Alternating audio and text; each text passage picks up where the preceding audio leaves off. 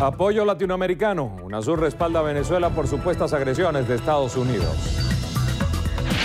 Maniobra para Eduardo Fernández es una distracción, conflicto con gobierno norteamericano. Verifican condiciones. Defensor del pueblo asegura que estudiantes detenidos son respetados. Denuncia. Familiares afirman que jóvenes recluidos en el SEBIN son víctimas de tortura psicológica. Autónomo. Presidente Maduro reitera que no cederá a presiones de cúpulas empresariales. Más pruebas. Trayectoria de la bala en caso Nisman fue una lesión autoinfligida. En suelo llanero, la vino tinto se prepara en Barinas para el duelo ante Honduras. Alta costura. En estrenos y estrellas les diremos cuáles fueron los mejores y peores vestidos de las alfombras rojas de los Grammy y Goya 2015.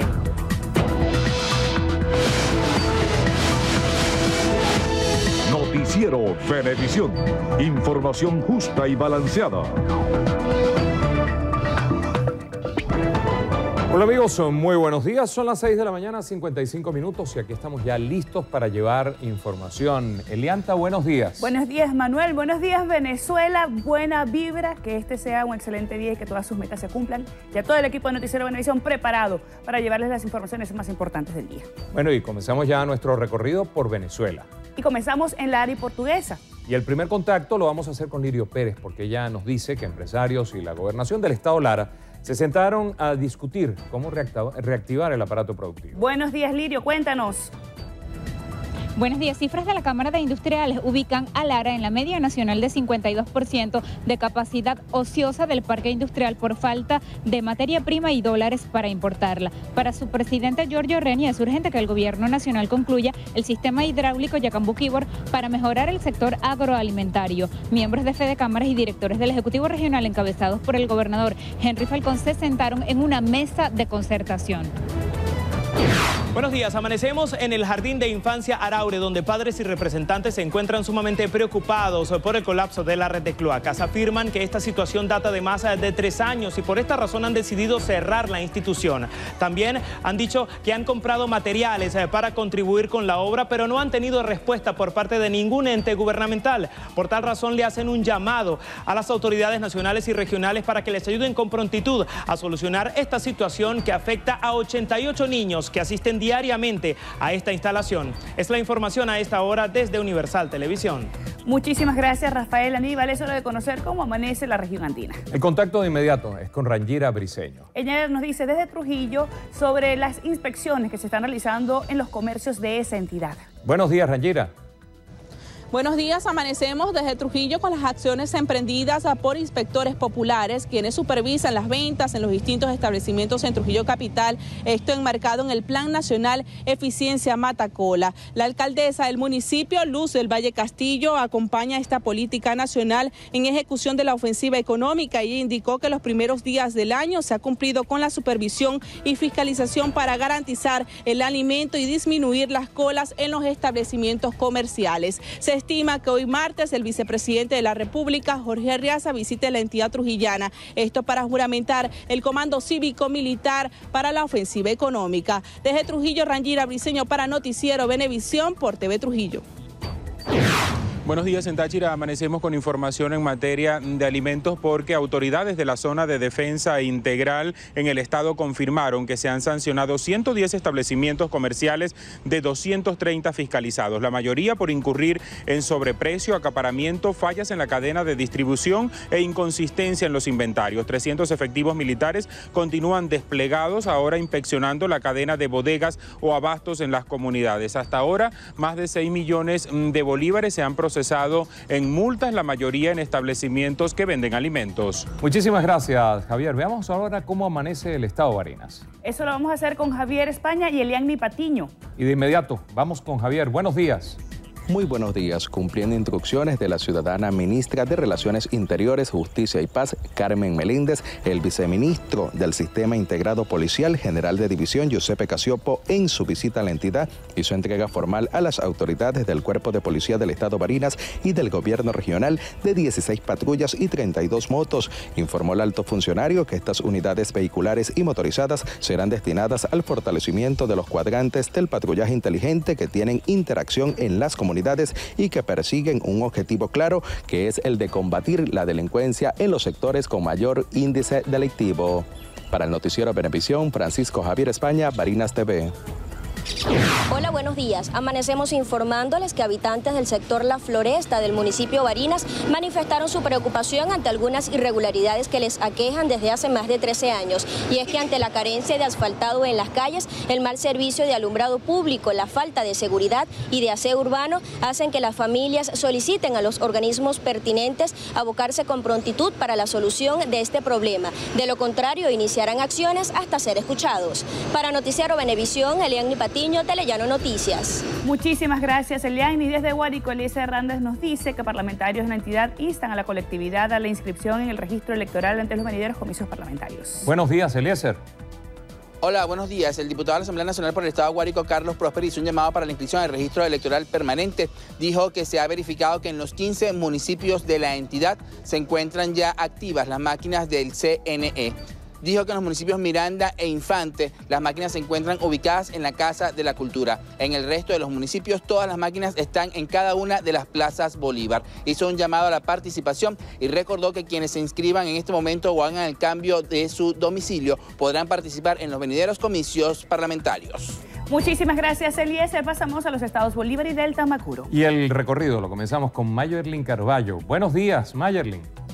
Buenos días. Se inauguró la Corporación de Bolívar, instancia creada con la intención de agrupar 13 empresas productivas con el objetivo de ofrecerle calidad de vida y mayores beneficios a los habitantes de la entidad. Empresas de alimentos, de semillas, asfalto, construcción, transporte, sistema de potabilización, entre otras, conforman el desarrollo integral del Estado. Las autoridades afirman que el plan inmediato es convertir al Estado Bolívar en la potencia económica no petrolera para así consolidar el bienestar de sus habitantes. Buenos días, el Comando de Vigilancia Fluvial de Zona número 61 de la Guardia Nacional, al mando del general de brigada Miguel Morales Miranda, decomisó más de 190 panelas de marihuana en operativos de inteligencia que realiza el Comando de Tareas Antidrogas, al mando del coronel Alejandro León Vera, visualizaron una embarcación tipo Curiara en el sector de Sagaray en el Caño Manamo de Tucupita. Fueron detenidos dos ciudadanos de la etnia Guarao, quienes transportaban esta droga en seis sacos y cada uno contenía 30 panelas de estupefaciente. Estas acciones están enmarcadas en la lucha contra el contrabando, el narcotráfico y la extracción de alimentos en el Delta. Para el noticiero Venevisión, Ángel Marcano, Tucupita TV. Muchísimas gracias, Ángel. Nos vamos ahorita al Estado Zulia. José Leonardo Nava nos dice cuáles son las acciones que han emprendido las autoridades ante las irregularidades presentadas en el cobro del peaje del transporte público. Buenos días, José Leonardo. Buenos días. En Zulia, el Instituto Municipal de Transporte de Maracaibo realiza operativos de fiscalización en las tarifas del transporte público. Esto debido a que algunos conductores se encuentran especulando en el cobro del pasaje de los carros por puestos. Las autoridades informaron que hasta ahora más de 30 transportistas han sido multados y les han sido retenidos sus vehículos. También aseguraron que quienes reinciden en irregularidades les serán revocados sus permisos de circulación. Es parte del informe que podemos ofrecerles a esta hora de la mañana. Muchísimas gracias, José Leonardo. A pocos días de celebrarse el carnaval, veamos cómo se preparan en los estados Monagas, Cojedes y Mérida para estas fiestas. Y de inmediato, el contacto lo hacemos con Betsy Betancourt. Buenos días. Buenos días. En el estado Monagas avanzan con éxito los preparativos para celebrar estos carnavales Maturín 2015. Para ello, la gobernación del estado, conjuntamente con el gobierno nacional, se encuentran organizando el despliegue de seguridad, el cual contará con más de 5 mil funcionarios que resguardarán las principales carreteras, así como balnearios y el desfile de carrozas y comparsas, que iniciará este sábado 14 de febrero a partir de la una de la tarde desde la Plaza El Indio de Maturín. Recorrerá toda la avenida Bolívar y Bicentenario hasta llegar al Parque El Guacharín. Además, la Dirección de Protección Civil informó que estarán disponibles más de cinco balnearios para el disfrute de propios y visitantes. Es la información desde Monagas para Noticiero Venevisión, Bexi Betancourt, TV Plus. Buenos días en Cojedes. El gobierno regional dio inicio a la celebración de los segundos carnavales de paz Cojedes 2015. Este lunes se realizó la presentación a la prensa de las nueve aspirantes a ser electa reina de estos carnavales. En horas de la tarde se llevó a cabo una caravana denominada El Grito del Carnaval. Desde esta semana y hasta el próximo martes se estarán realizando actividades deportivas, recreativas y culturales en la Avenida Bolívar de San Carlos y los diferentes balnearios y sitios turísticos de los nueve municipios de la entidad. Buenos días. Amanecemos en el Estado de Mérida informándoles eh, sobre las actividades que están realizando el Instituto de Bibliotecas Públicas de la Gobernación del Estado en conjunto con el Sistema Teleférico de Mérida Mucumbari y es que están desarrollando la promoción de la lectura en la Plaza de las Heroínas de la ciudad de Mérida. Esto como parte de estas fiestas en eh, Carnaval. La actividad sirve para crear conciencia sobre la importancia de leer un buen libro y que los niños, niñas y los adultos participen en la lectura de poesías, eh, novelas, entre otros. Se tiene previsto realizar esta actividad eh, eh, simultáneamente en las plazas Bolívar de los 23 municipios de la entidad merideña. Es parte de la información. Desde el Estado Mérida les reportó Said Rivas. Muchísimas gracias, Said. Y finalizamos nuestro recorrido informativo desde Caracas. Fernando Girón nos dice hasta cuándo estarán cerrados algunos accesos del Parque Guarera Repano del Ávila y también del Henry Pitié. Buenos días, Fernando. Amigos, buenos días. Hasta junio de este año 2015 estará restringido el acceso de usuarios a las áreas críticas de los parques nacionales Guarera, Repano y Henry Pitier, de acuerdo con las medidas judiciales de carácter ambiental dictadas a solicitud del Ministerio Público, con motivo del periodo seco y el riesgo de incendios forestales. En el caso del Guarera Repano, la medida fue acordada por el juzgado decimoséptimo de primera instancia en lo penal y establece la ocupación, vigilancia y control por parte de la Guardia Nacional Bolivariana de todos los accesos al Parque Nacional, conjuntamente con los funcionarios de Imparques, además del patrullaje y recorridos continuos para verificar el fiel cumplimiento de esta medida. Muchísimas gracias, Fernando. Cambiamos de tema. Los cancilleres de la UNASUR acordaron en Montevideo, Uruguay, buscar mecanismos de diálogo con el gobierno de Estados Unidos a fin de respaldar a Venezuela ante las presuntas agresiones denunciadas por el presidente Nicolás Maduro. La canciller de la República, Delcy Rodríguez, afirmó que el país recibió un apoyo contundente ante acciones que a su juicio violan el derecho internacional. Aquí se rechazó, se reiteró el rechazo a la aplicación de medidas unilaterales por parte del gobierno de Estados Unidos y asimismo se buscarán los mecanismos de comunicación pertinentes eh, con, el gobierno del presidente Obama y UNASUR a los fines de, pues, de dar un acompañamiento en cuanto al principio de soberanía y autodeterminación del pueblo de Venezuela. El canciller ecuatoriano Ricardo Patiño reiteró al gobierno de Venezuela la voluntad de UNASUR de seguir contribuyendo al proceso democrático y del diálogo en Venezuela. Creemos que en la búsqueda de esos canales de comunicación con el gobierno de los Estados Unidos puede servir de mucho para alcanzar estos niveles de y de comunicación y favorecer la paz y la tranquilidad en la región. Estamos a la disposición del gobierno venezolano y estamos pendientes de lo que ellos eh, nos solicitaran. Se tiene previsto que próximamente convocarán una nueva reunión extraordinaria de cancilleres. Eduardo Fernández, presidente del IFEDEC, llamó al gobierno nacional a no distraer la opinión pública en conflictos con Estados Unidos, ya que considera que primero se deben solucionar los problemas internos del país. Entonces, señores del gobierno, no busquen escape en escenarios internacionales. Ahora yo creo que en alguna medida es una maniobra de distracción de la opinión pública. Concéntrense en resolver los problemas internos de Venezuela y seguramente Venezuela va a ser mucho más respetada en los escenarios internacionales. Fernández se refirió a la situación económica del país asegurando que es necesario desmontar los controles e incentivar la producción para salir de la crisis. Ojalá el presidente entienda que tiene que tomar medidas como, por ejemplo, liberar a la economía venezolana del control de cambios, que es la fuente de corrupción más espantosa que tenemos.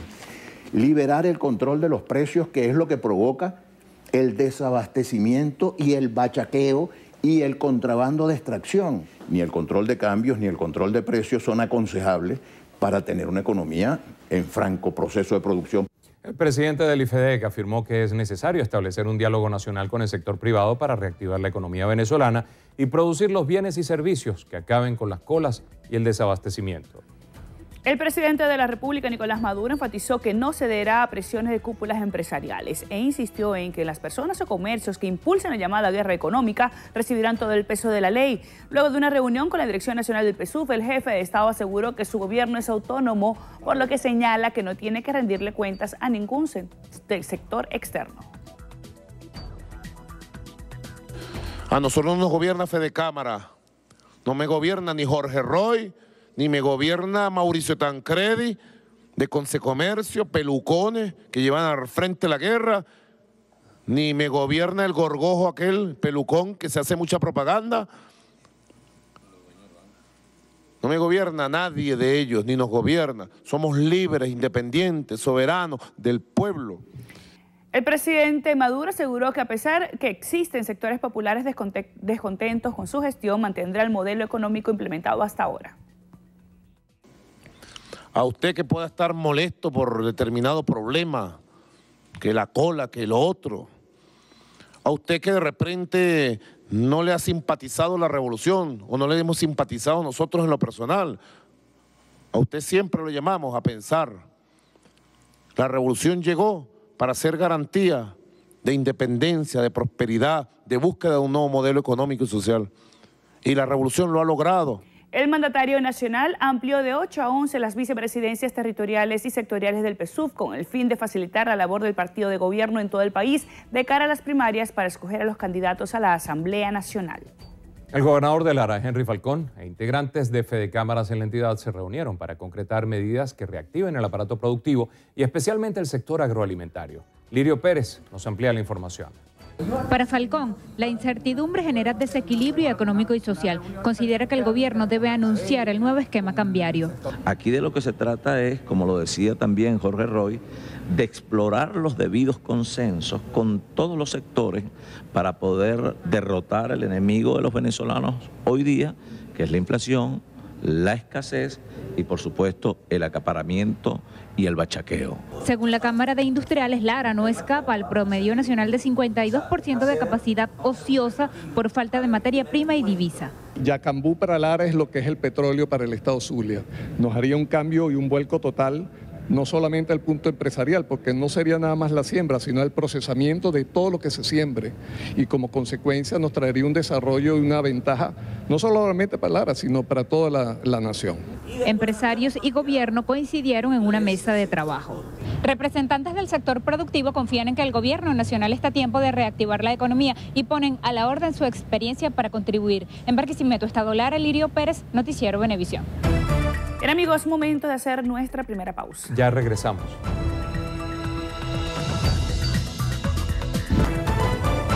Siete de la mañana, 15 minutos. Comercio considera que todos los venezolanos merecen vivir en condiciones de abastecimiento, tranquilidad, paz y posibilidades de trabajar. Razón por la que piden a las autoridades buscar acuerdos con la empresa privada.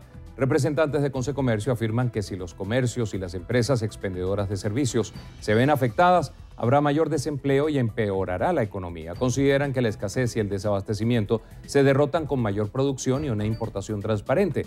Respaldan el llamado del gobierno para producir, pero también le recuerdan que hay que fortalecer al sector comercial y no debilitarlo o destruirlo. Asimismo, se unen a Fede Cámaras en su insistencia en llamar al entendimiento y al diálogo como en su respaldo a la necesidad de fortalecer a la empresa privada. El defensor del pueblo, Tarek William Saba, afirmó que según un acta levantado por su despacho, los estudiantes Gerardo Carrero y Lorenza Aret, detenidos en el SEBIN, se les respetan sus derechos humanos. Liz Flores nos amplía. Los padres de los estudiantes detenidos solicitaron la intervención de la Defensoría del Pueblo y pidieron mejorar las condiciones en que están en el SEBIN. Están firmadas por, los detenidos. ¿Qué revelan ellos allí? Uno, que han tenido un buen trato de los custodios. Vamos aquí a ser sinceros. Dos, que este, se les da su, su comida y su eh, disfrute, digamos, de todo lo que tiene que ver con su higiene personal, su eh, alimento eh, de manera correcta. tres, ellos revelan allí, está escrito, que no han sido torturados, está firmado por ellos. El defensor del pueblo también informó que firmaron 12 acuerdos con las líneas aéreas. Ellos se comprometen a mejorar el servicio en base a denuncias que hemos recibido, una de ellas muy grave, la sobreventa de boletos, dos, el hurto de, equipaje, tres, el maltrato hacia el usuario que paga un servicio que no es gratis. Este, eh, cuarto, el extravío incluso hasta de mascotas. Quinto, eh, el, atraso también cuando tú llegas a una hora que te piden que, que el vuelo salga a las 2, termina saliendo a las 9 o a las 3 de la madrugada. El defensor del pueblo sostuvo un encuentro con la comunidad organizada del núcleo endógeno Antonio José de Sucre. Allí escuchó los problemas planteados por la gente y recibió sus peticiones. Destacó Tarek William Saad que todos los ciudadanos venezolanos, de acuerdo a lo establecido en la Constitución Nacional, tienen derecho a recibir servicios públicos de calidad y es por esto que explica que en la Defensoría del Pueblo crearon una oficina especial para atender denuncias sobre falta de agua, problemas con la basura y transporte. Desde el Núcleo de Desarrollo Endógeno en Petare, y Flores, Noticiero Venevisión. Representantes de Lorenza Lep, quien permanece en huelga de hambre junto a Gabriel Vallés y Gerardo Carrero, Denunciaron que estos jóvenes recluidos en el SEBIN son víctimas de tortura psicológica. Manuel Covela nos informa. Abogados y la madre del dirigente de la ONG Operación Libertad aseguraron que el joven tomó la medida de protesta con dos compañeros más para reclamar sus condiciones de reclusión en el área del Serín de Plaza Venezuela, denominada La Tumba. Nos encontramos frente a la tortura psicológica porque el hecho de mantenerlo en una habitación, primeramente eh, solos, en una, sola, en una habitación, eh, todas las paredes pintadas de blanco, donde la comida les pasaba por debajo de la puerta y eh, no garantiza las condiciones mínimas, simplemente tiene una, una tabla donde colocan una colchoneta muy delgada y el aire acondicionado, entonces es eh, bastante, se lo bajan. Reconocieron que personal de la Defensoría del Pueblo y el Ministerio Público han realizado visitas a los detenidos para constatar su situación, pero afirmaron que los beneficios obtenidos son mínimos. Ahí no hay sol, lo sacan al sol nada más dos veces a la semana. En cinco meses llevan nada más seis salidas al sol, no hay aire natural. Lo que se escucha es el, sonido del metro, me consta porque yo lo escucho, el sonido del metro. ¿Me entiendes? Porque la sala de espera está allá abajo. Defensa y familiares de los jóvenes detenidos en el SEBIN denuncian que estos estarían siendo presionados para que testiguen en contra de dirigentes de la Mesa de la Unidad Democrática. Desde Plaza Venezuela, Manuel Covela, Noticiero Venevisión. El comandante general de la Guardia Nacional, Néstor Reverol, informó que fue desmantelada una banda dedicada al tráfico de drogas en el Aeropuerto Internacional Simón Bolívar de Maiquetía y destacó que por el caso hay 10 detenidos, tres de ellos militares. Milagro Zambrano nos trae los detalles. Tenemos un oficial, tres guardias nacionales, dos ya están detenidos y dos tienen orden de captura que se encuentran evadidos de, del cuartel, nosotros ya también estamos haciendo la investigación administrativa para su separación de la Fuerza Armada Nacional Bolivariana. Tenemos 10 detenidos que van a ser presentados en las próximas horas eh, ante los tribunales respectivos. Tenemos 3 con orden de captura y 14 investigados. Explicó que el alijo de droga salió en cinco maletas que por complicidad interna fueron embarcadas en un avión hacia República Dominicana. Según Reverol, el protocolo de seguridad no se cumplió, aunque señaló que Venezuela fue quien alertó sobre la situación. Fue el, vuelo más próximo que salió con un destino internacional, por eso que alertamos a la línea aérea venezolana y presumimos de que en ese avión iba esas maletas que entre comillas estaban extraviadas. Y le hacemos un exhorto a todas las líneas aéreas para que extremen todas las medidas pasivas y activas de seguridad en sus respectivos departamentos, ya que ellos tienen una gran responsabilidad de velar por la seguridad y la esterilización de los vuelos durante su salida hacia destinos internacionales. El mayor general Néstor Reverol no descarta nuevas detenciones por el caso y señaló que serán reforzados los puntos de control del aeropuerto Simón Bolívar. Autoridades de la Guardia Nacional manifestaron que aún se desconoce a qué cartel de la droga pertenecía el alijo. Sin embargo, informaron que investigan el sello que contenían las 188 panelas. Milagro Zambrano, Noticiero Benevisión. La canciller de Colombia, María Ángela Holguín, se reunió con Cúcuta con el director de Migración para buscar salidas a la crisis de los vecinos colombianos deportados desde Venezuela. Zulay Ucros, de nuestra cadena aliada de Caracol, nos tiene la información. En su visita a Cúcuta, la canciller María Ángela Holguín reconoció que la situación de los colombianos en el vecino país es bastante crítica. Estamos haciendo igualmente es cómo podemos reunificar las familias, de igual manera eh, poder eh, ayudarles y colaborarles eh, en la consecución de un trabajo, en llegar hasta su sitio de origen. La ministra de Relaciones Exteriores explicó además que la Cancillería colombiana de forma respetuosa ha requerido en varias oportunidades al gobierno venezolano para que impere el respeto de los derechos humanos de los ciudadanos colombianos que son deportados. Bien amigos, Es momento de hacer una nueva pausa. Ya venimos con más información.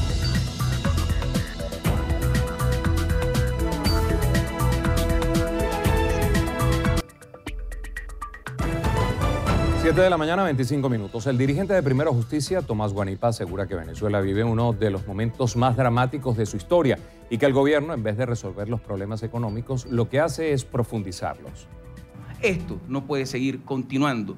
Esta situación no nos la podemos calar, ni podemos nosotros los venezolanos acostumbrarnos. Lejos de amedrentarnos, lo que estamos es justamente abriendo los ojos a los venezolanos y hoy más comprometidos que nunca estamos a acompañar a la gente en ese sufrimiento.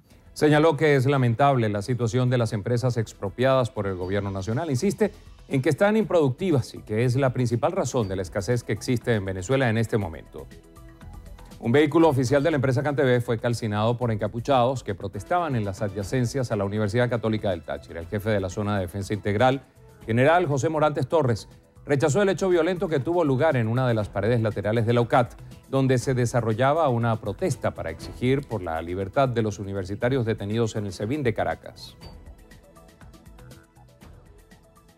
Ya cuando una persona se encapucha y comienzan a alzar piedras, objetos contundentes, bombas molotov a las personas, a las propiedades, ya estamos en presencia de una alteración del orden público donde una manifestación se transforma en turba. La máxima autoridad militar en el Estado dijo que no caerán en provocaciones y mantendrán el plan de cerco de seguridad. Lo que están buscando es que los organismos de seguridad, los organismos de seguridad ciudadana se alteren, ¿verdad? Y de repente alguno de ellos de manera particular tenga alguna actuación que en algún momento vulnere algún derecho de alguno de estas personas que están no manifestando, sino que están agrediendo prácticamente la paz del resto de los ciudadanos. El general José Morantes aseguró que están atentos a la marcha convocada para el próximo jueves 12 de febrero. Y este lunes continuó el juicio que se le exige a Leopoldo López en la audiencia comparecieron cinco testigos. Euclides Sotillo nos amplía la información. Así lo informó el abogado defensor de López, Juan Carlos Gutiérrez, quien destacó que estos cinco testigos son funcionarios del Cuerpo de Investigaciones Científicas Penales y Criminalísticas y que no guardan relación con su defendido, sino con los estudiantes. Denunció además la prohibición que se ordenó el pasado viernes de que no ingresen observadores internacionales al juicio. Hay restricción de acceso a la prensa, hay restricción de acceso a personas que ejerzan la política, hay restricción de acceso ahora a, eh, observadores internacionales, que se trata de diplomáticos que tienen inmunidad, inmunidad en razón a su oficio, se prohíbe el acceso al padre del señor de Leopoldo López y ahora pues en definitiva el carácter de público, que es un elemento esencial de todo juicio, bajo parámetros constitucionales y legales, no se están cumpliendo. La defensa de Leopoldo López también informó que la próxima audiencia de juicio quedó fijada para este miércoles 11 a las 10 de la mañana. Euclides Sotillo, Noticiero Buenavisión. El vicepresidente de Planificación y Conocimiento, Ricardo Menéndez, aseguró que están eliminadas las pruebas de selección en las universidades públicas. Diana Vázquez nos cuenta los detalles.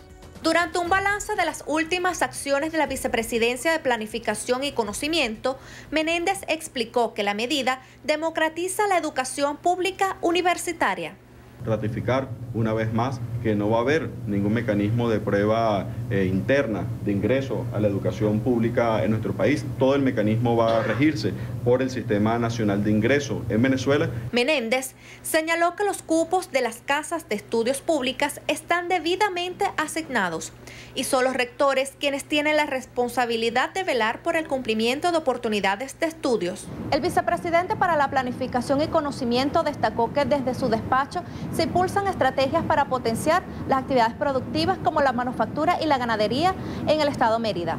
Desde el Ministerio de Planificación y Conocimiento, Diana Vázquez, Noticiero Buenavisión.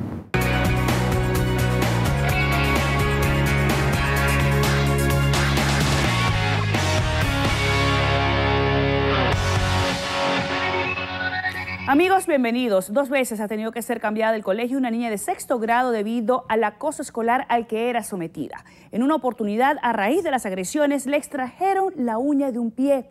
El hecho generó reacción en una de sus docentes, quien hoy encabeza un movimiento maravilloso a favor de la paz. Nos trasladamos a Villa de Cura, en Aragua, donde ocurrió este caso, y a continuación les presentamos los detalles. Ocurría en su salón de clases. Asegura que no se dio cuenta sino hasta el momento en que las agresiones ya habían dejado graves consecuencias. Inclusive una vez le, estaban apoyando la cabeza con un lápiz, eh, le pegaban, eh, le daban golpes fuertes, le escondían sus cosas era bastante fuerte. La exclusión y el rechazo estaban a la orden del día. Las heridas eran cada vez más profundas. Baja autoestima, eh, me, lo hacía, me lo expresaba su madre, baja, autoestima, eh, mucha tristeza, eh, le costaba mucho dormir en las noches, se encerraba, no conversaba. en la mañana cuando me contaba su mamá que cuando iba para la escuela era una cara como que se iba para un eh, lo iban a, o la iban a, crucificar. La joven fue sacada del colegio, pero generó en esta docente la necesidad de hacer algo para evitar que en su aula se repitiera la historia. Es así como nacen los defensores de paz, un movimiento que busca que los más pequeños promuevan el buen trato en los colegios. Bien, aquí estoy con y con Efraín, ellos son dos de los defensores de paz de este proyecto. Elismar, un poquito cuál es tu mensaje para las personas que nos están viendo que a lo mejor están siendo víctimas de acoso escolar de algún niño. Los niños que están pasando con esto, cuando este, de noche también pueden soñar con ellos y no pueden sacárselo de la mente, entonces que se les los padres. Para que los padres los puedan ayudar, ¿verdad? ¿Qué dice Efraín? ¿Cómo ayudarías tú si a lo mejor hay un niño que está siendo víctima de acoso escolar? Hay que hacer una denuncia, hay que hacer una campaña. Si no, después va a tener miedo y va a pasar de que va a llegar algo grave.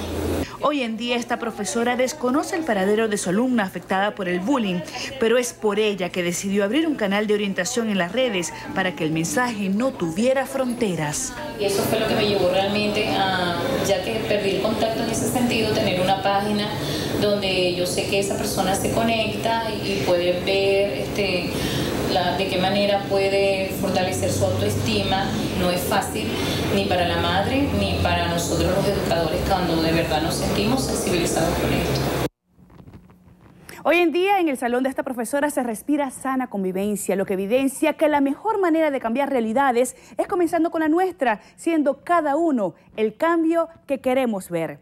Seguimos agradeciendo a quienes día a día se suman a esta campaña en contra de la violencia escolar. Únete tú también. Juntos podemos. Noticiero Benevisión te dice, al acoso, sácalo del juego.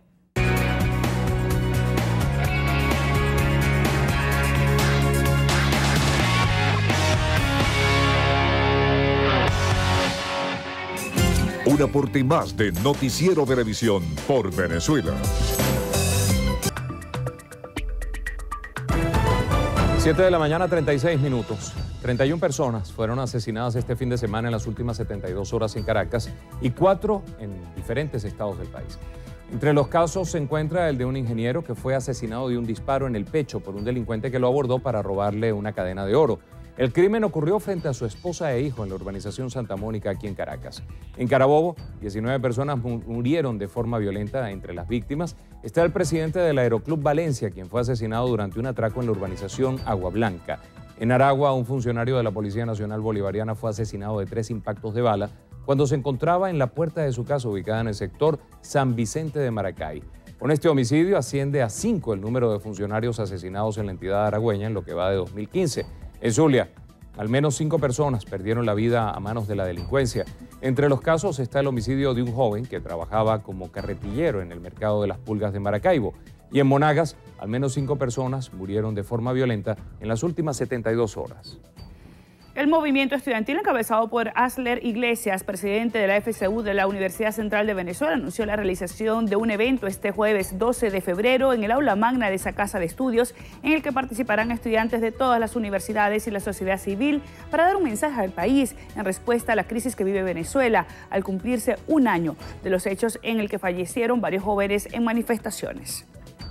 Este 12 de febrero inicia un nuevo proceso, un proceso que no es violento, un proceso que no es de, confrontación, sino un proceso que es de encuentro, un proceso que es de entendimiento y un proceso que es para ofrecer soluciones y comenzar a trabajar y llegar hasta las soluciones que tanto está esperando no solamente los jóvenes, sino toda la sociedad civil en Venezuela. El Día de la Juventud vamos a recordar no solamente ese hace 200 años. El gobernador de Bolívar, Francisco Rangel Gómez, expresó que en la entidad impulsan la producción nacional a través de empresas socioproductivas aglutinadas en una corporación Mayerlin Carballo con la información. El gobernador Francisco Rangel Gómez inauguró la Corporación del Estado Bolívar. Nace una nueva esperanza, la Corporación Bolívar, incluso para ponernos a la orden de la Corporación Venezolana de Guayana para darles todo nuestro apoyo en las experiencias que ya tenemos. A eso nos estamos dedicando, a producir bloque, a producir granito, a producir agua, empresas de servicios, empresas de producción de alimentos. Estamos produciendo ya 472 mil kilos de pollo, vamos para el millón, si Dios quiere, finalizando este año. Estamos produciendo 250 mil kilos de hortaliza y vamos para 2 millones y medio con el apoyo que dio nuestro gobierno nacional. El mandatario designó como presidente de la corporación estatal al coronel Efren Hernández con el objetivo de asumir los planes inmediatos. Tres empresas conforman la corporación de Bolívar, la cual tiene el objetivo de lograr el desarrollo económico integral de la entidad. Desde el estado Bolívar, Mayerlin Carvalho, Noticiero Venevisión. Nos vamos al Táchira porque estudiantes de las universidades ULA, UNED y UCAT anunciaron una nueva agenda de calle para exigir respeto a los derechos humanos de los jóvenes que aún permanecen detenidos por el SEBIN en Caracas. Javier Faría nos trae los detalles. Los universitarios anunciaron nuevas movilizaciones de calle. Aseguran que a los estudiantes Gerardo Carrero, Gregory Sanabria, Renzo Prieto, Juan Giraldo y Josman Pérez les están siendo violentados sus derechos en las celdas del SEBIN. Primero que todo, le dan las comidas a deshora. Están a cinco pisos bajo tierra y no reciben luz natural, no reciben, eh, eh, aire natural. Los compañeros eh, no pueden ir al, baño prácticamente solo una vez al día cámaras por todos lados. También denunciaron la desaparición de Elber Barreto, estudiante de 21 años de la UNED. Exigen sea investigado el caso. Su última vez fue visto el día 6 de febrero en horas de la tarde en su moto. Desde ahí eh, no hemos podido saber nada, no hemos contactado con los familiares y no hemos tenido información acerca del paradero de nuestro compañero. Dos movilizaciones de calle tienen previsto los universitarios para esta semana. Este martes una concentración en la avenida Carabobo y para el 12 la convocatoria a la marcha por el Día de la Juventud. En Táchira, Javier Faría, Noticiero Venevisión. Regresamos al Estado Bolívar, donde personal médico y usuarios de los hospitales Suyapar y Dr. Raúl Leoni, los dos grandes centros asistenciales de Ciudad Guayana, denuncian que se agudiza la falta de medicamentos y equipos médicos. Los galenos afirman que con lo único con lo que cuentan es con sus conocimientos para atender a los numerosos pacientes que acuden a los centros asistenciales. Enfermos provenientes de Anzuategui, sur de Monagas, del Tamacuro y del Estado Bolívar se dirigen a esos hospitales. Los médicos reportan fallas desde el servicio de laboratorios hasta rayos X.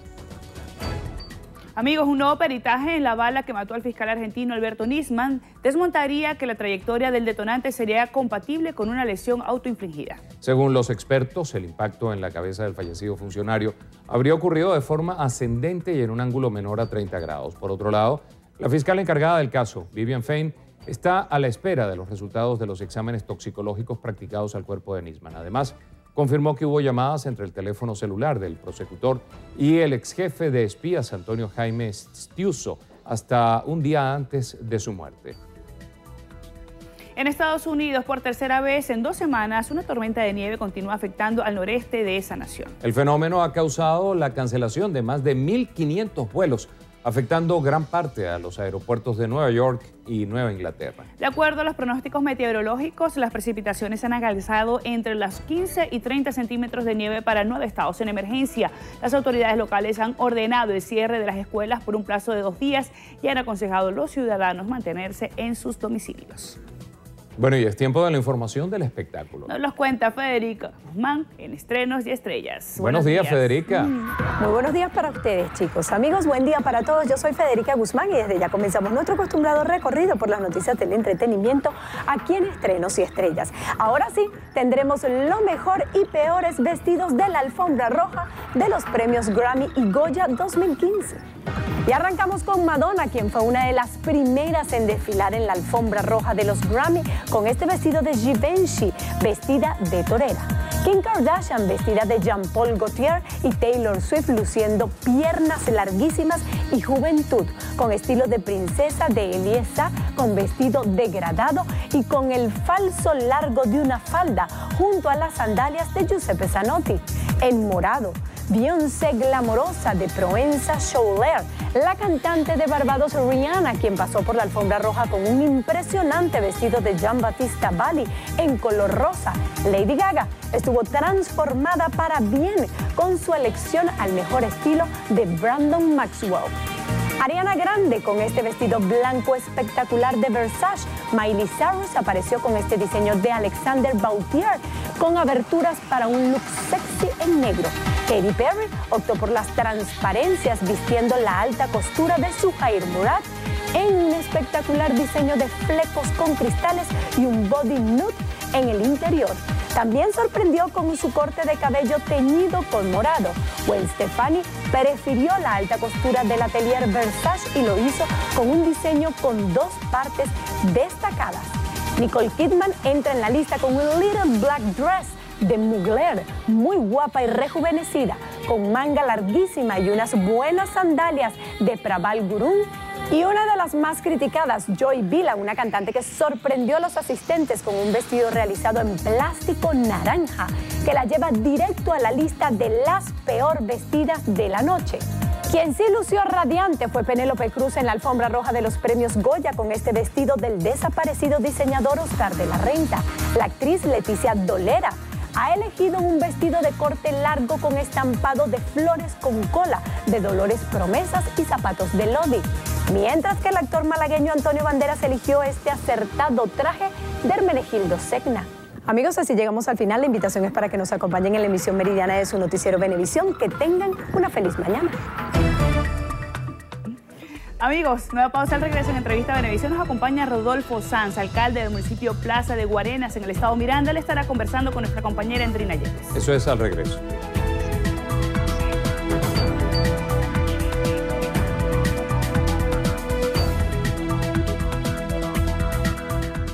Entrevista Venevisión. Líder en opinión. Por tu canal independiente, Venevisión. ¿Qué tal amigos? Muy buenos días, sean todos bienvenidos a Entrevista Benevisión, tal como lo anunciamos, ya estamos listos para iniciar nuestra conversación con Rodolfo Sanz. Él es alcalde del municipio de Plazas de Guarena, Estado Miranda. Gracias por acompañarnos, muy No, gracias a ti por la invitación, Andrina. Y sobre todo muy oportuna su visita cuando el día de ayer veíamos que en el acto de reunión del Buró Político del Partido Socialista Unido de Venezuela, eh, usted a partir de este momento forma parte de la dirección nacional del partido.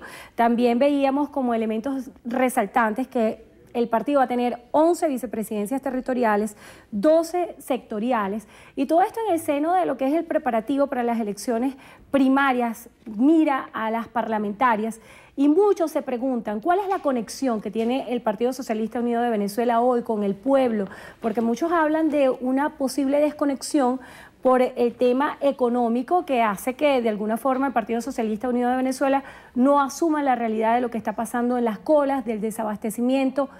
¿Cuál es el enfoque que le da a esto? En primer lugar, el presidente Nicolás Maduro ha decidido que el partido dé un salto ¿no? en su eficiencia.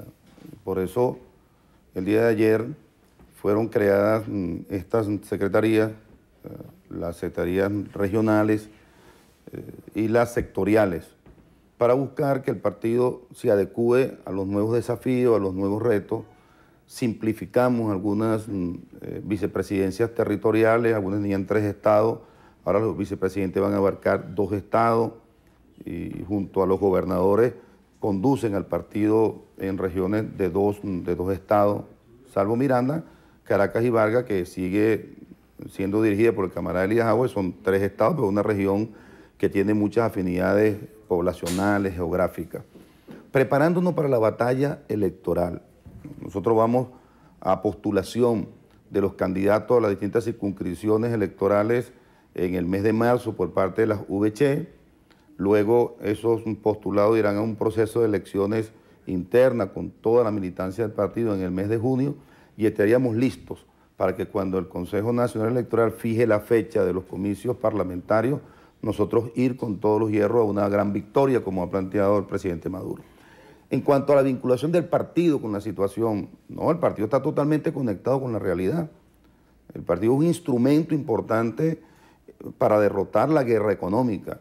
Nosotros hemos indicado en nuestra militancia que debe estar en todos los centros de abastecimiento, que debe desarrollar trabajos de inteligencia para ver dónde está realmente el acaparamiento, quiénes esconden los alimentos, para acabar con lo que hemos comúnmente llamado el bachaqueo. El partido está en sintonía con los comandos cívico-militares que se van a instalar en todos los estados del país para combatir la guerra económica. De manera que es un partido que tiene el oído en la tierra, que está conectado con la gente. La estructura nuestra, de más de 165 mil cuadros activos que tenemos, eh, llega a todos los rincones de Venezuela. Nosotros somos el partido más grande que hay en este país, el mejor organizado y el más eficiente. Por eso es que el combate a la guerra económica no solamente es del gobierno, es también del PSU y lo estamos asumiendo. Muchos analistas políticos interpretan que detrás de toda la lucha de la denominada guerra económica lo que está es un objetivo político electoral. Muchos también interpretan que el tema internacional ha sido un trapo rojo, una cortina de humo para solapar la realidad que están viviendo los venezolanos que se encuentran en una situación de desabastecimiento y que también están a diario sometidos a tener que hacer una cola para adquirir los productos básicos. No, nosotros entendemos que eh, la oposición siempre va a decir que el gobierno eh, no tiene una política ¿no? para enfrentar la situación del país, pero nosotros sabemos todo el esfuerzo que el presidente Maduro ha realizado. Y sabemos que hay factores externos y factores internos que siguen conspirando contra la revolución bolivariana. Mira, Estados Unidos no le perdona a Chávez todo lo que hizo en el mundo. Fíjate ahorita, con la crisis del petróleo, convocaron un evento en Washington para ofrecerle bondades a los caribeños. Ahí, por cierto, le dijeron a algunos primeros ministros cosas delicadas con relación a un posible derrocamiento del gobierno.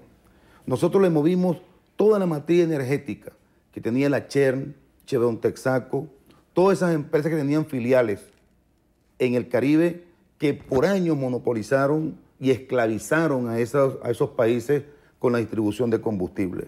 Y no fue que regalamos el combustible venezolano, no fue que regalamos el petróleo venezolano, pero ellos ahora han lanzado una ofensiva creyendo que con la situación del petróleo van a desplazar la influencia y todo el trabajo que Venezuela ha hecho en el, en el Caribe. De manera que es una ofensiva permanente, que se expresa de esa manera, pero también se expresa en la guerra económica, también se expresa en el bloqueo que han intentado, porque cuando Venezuela eh, busca financiamiento en países alternos y Estados Unidos va detrás boicoteando la posibilidad de acuerdo para financiamiento frente a la caída de los precios del petróleo, frente a qué estamos?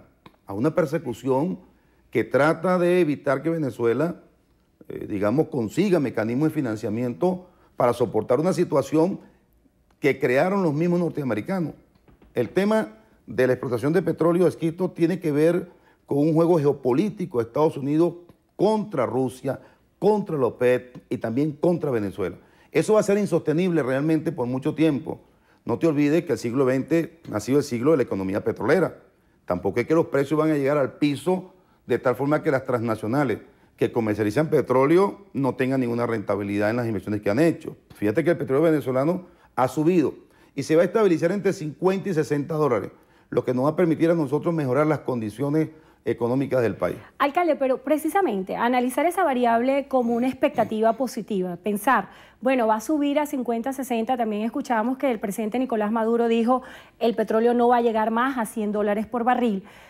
¿Por qué seguir pensando en el esquema monorrentista petrolero para el desarrollo económico de Venezuela cuando también se deben explorar otras áreas para diversificar la producción nacional? Porque pareciera que estamos atacando más las consecuencias que las causas y es que no hay activación del aparato productivo. Voy a hacer referencia específicamente a su localidad. Usted como alcalde de Guarenas tiene un parque industrial importante, 470 industrias eh, en su entidad.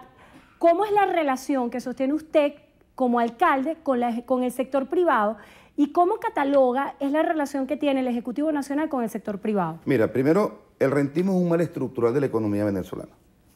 Y acostumbrémonos, porque eh, tú no modificas la realidad solo con ideología o solo con deseos.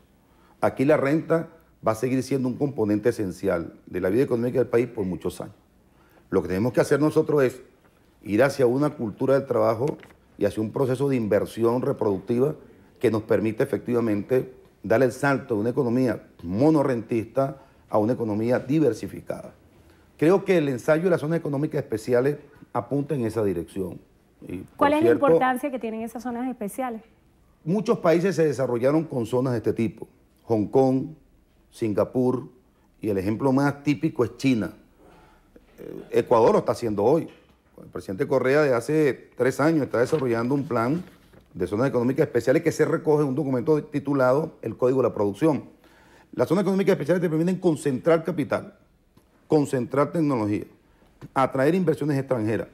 Y son especiales porque tú estableces un régimen distinto al del resto de la economía.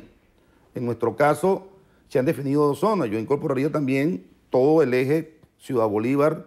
De Ciudad Bolívar están concentrados los minerales estratégicos más importantes de este país. Esas zonas económicas especiales deben permitir establecimiento de industrias para la exportación. ¿Por qué, Endrina? Porque el otro tema es que la economía venezolana no debe vivir solamente de los dólares que ingresan por concepto de petróleo.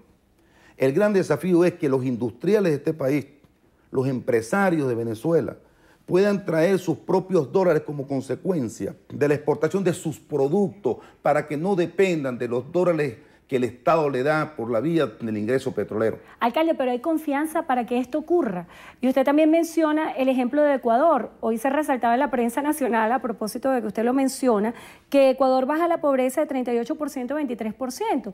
Traigo a colación el ejemplo porque es un país ideológicamente aliado a Venezuela y hay algunos indicadores que apuntan a que Venezuela pudiera estar, o, o sectores de la oposición están señalando de manera constante que en Venezuela está creciendo la pobreza. ¿Qué es lo que está pasando en el modelo venezolano? No, mira, en los últimos 10 años, lo que ocurrió en Ecuador ocurrió en Brasil, en Bolivia y en Venezuela. Por primera vez en América Latina hubo una década que el crecimiento del llamado Producto Interno Bruto fue acompañado de una disminución de la pobreza. Ese correlato no existía antes. Antes las economías americanas crecían, pero seguíamos siendo el continente más desigual, no el de mayor pobreza, que es África, pero el más desigual del mundo. Nosotros, todos los países crecieron y disminuimos la pobreza. Ecuador desarrolló un plan de zonas económicas especiales que yo creo nosotros mm, podemos tomar algunos elementos de ese modelo para aplicarlo en Venezuela y complementarlo con lo que ya nuestros ministros aquí han venido desarrollando.